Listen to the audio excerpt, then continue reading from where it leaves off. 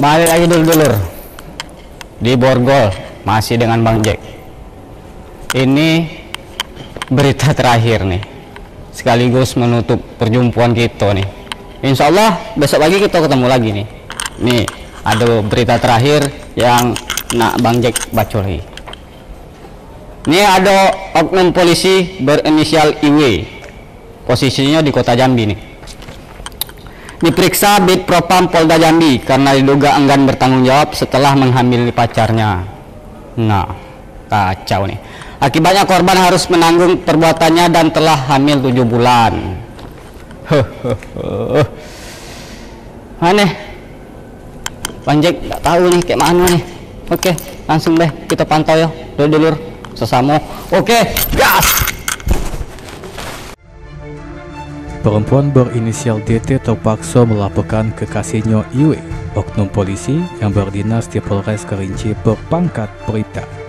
Jika dilakukan setelah Berita Iwe diduga menghamili kekasihnya namun tidak mau bertanggung jawab.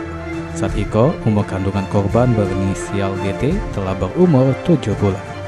Korban berinisial DT saat ditemui mengatakan bahwa dirinya melaporkan berita IW ke Bit Propam Polda Jambi pada 5 November 2021 lalu dengan nomor laporan LP garing B strip 29 garing 11 Romawi garing 2021. Bribda IW juga disebut meminta kekasihnya untuk menggugurkan kandungan tersebut, namun permintaan itu langsung ditolak oleh kekasihnya.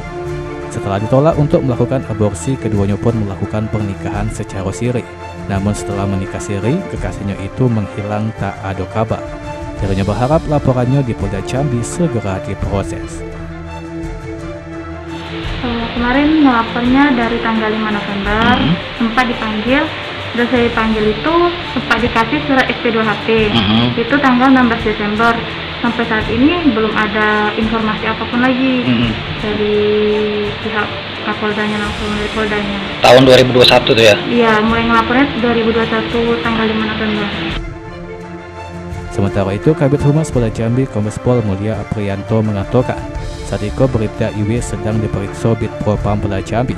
Jika terbukti bersalah pada pengadilan etik, berita Iwi bisa dipecat dari anggota Polri.